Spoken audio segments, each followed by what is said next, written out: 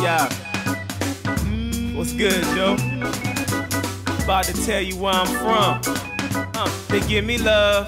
Uh, uh, I'm up in BMO, give me love. Yo, yo, in PG, they give me love. I understand, Miss Aquino. We're doing our best. Because I could have gotten a private tutor for my daughter. I know. I could have set up a pod, A pod. an education pod. But my daughter and I, we're not pod people. I'll take your word on that. It's because I believe in public education. I hear you.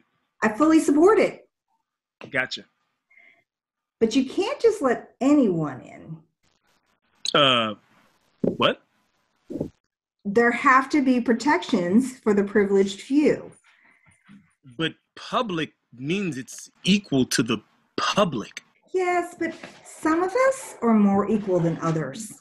Okay, now if, if you're gonna go all Animal Farm on me and I start need Hunger you to know that my daughter will be safe. absolutely safe. All right, the whole school in this year it will be virtual, Miss Aquino. I want to keep her healthy. We're adhering to every safety protocol established by the state and the county. In fact, I'm exceeding that. I'm going way beyond what they're asking me to do because I don't want anything to happen in my classroom. Nothing. Your daughter's never even going to set foot inside the school. She'll be as safe in my classroom as she would be at home.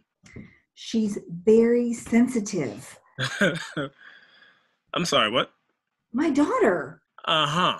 She's very sensitive, Mr. Barry. How will you prevent her from being cyberbullied during class?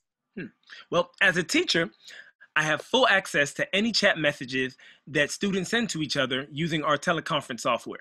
And bullying in any form will not be tolerated in my classroom. Like I said, she'll be as safe as she is at home because she'll already be home. So you. it's crazy. Are you serious? I beg your pardon? Um, Miss Aquino, do you want to include your husband in on this conversation? What? Or at least get the man some pants? I- I'm not married. then who's that guy that keeps walking along your- him him right there come on man bruh i don't need that dude I was looking for a bagel. You're going to have to leave now. What's going on? None of your business. Hey, are you the boyfriend? Stop. Might want to cut down on those business trips.